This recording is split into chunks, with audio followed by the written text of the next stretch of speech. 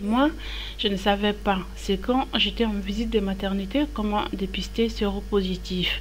Le médecin m'avait demandé où est mon mari. J'ai répondu que je vis actuellement avec mon deuxième mari. Le premier est à Mundu et j'ai eu trois enfants avec lui. J'ignore si j'ai attrapé la maladie avec mon premier mari. J'ai retourné les choses dans tous les sens, mais je n'ai pas pu déterminer si c'est lui ou pas qui m'a infecté.